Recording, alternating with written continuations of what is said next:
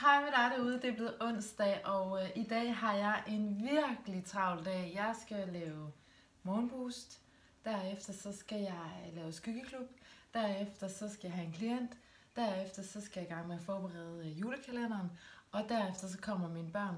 Og hvis jeg ikke passer på, så bliver det her sådan en dag, hvor jeg bare hamrer igennem det hele og kommer til enden af dagen og øh, sidder og har åndenød og kan næsten ikke huske, hvad jeg selv hedder.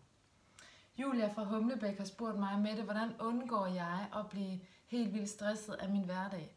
Og det er verdens bedste spørgsmål, fordi det er nemlig så vigtigt, at vi fatter, at det der hamsterhjul, vi selv får skabt, det er intet godt gør for os. Altså det der med, at du overstår det, du skal, eller det, du er i, for at komme videre til det næste, for at komme videre til det næste. Og det, du ender i, det er en følelse af meningsløshed og og stress eller eventuelt depression. Jeg har i hvert fald rigtig mange kvinder, der sidder herinde og har tabt pusten over deres egen hverdag, og jeg kender det jo godt for mig selv, når det går hurtigst, at man mister sådan gnisten og lysten i det.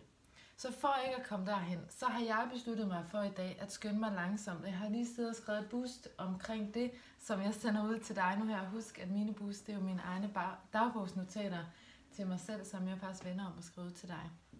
Men det handler om, mellem hver ting, jeg skal i dag, der tager jeg mig en lille stjålet pause. Det vil sige, jeg, øh, jeg øh, tager mig en kop kaffe, selvom jeg ikke har tid. Jeg ringer til en god ven, selvom jeg ikke har tid.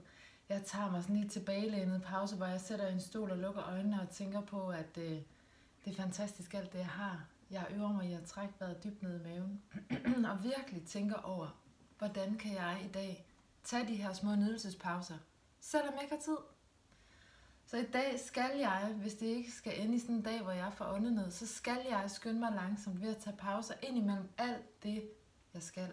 Alt det, jeg skal i dag er fantastisk. Der er intet, jeg vil tage ud af ligningen. Men jeg vil heller ikke komme til enden af dagen og ikke øh, være ved mig selv og ikke være ved mit fulde fem. Så derfor vil jeg skynde mig langsomt. Jeg synes, du skal gøre det samme, Julia, og jeg synes også, du skal gøre det, kære kvinde derude, der sidder og kender dit eget hamsterhjul rigtig godt, og næsten ikke kan overskue, hvordan du kommer til enden af dagen i dag. Skynd dig langsomt. Stjæl nogle små momenter for dig, hvor du nyder, hygger dig. Gør et eller andet, du ved er dejligt for dig. Så er du i gang med at tage en dejlig dag. Det vil jeg have, og jeg synes, du skal have det samme. Lad os tage en sammen. Ha' det godt så længe. Hej.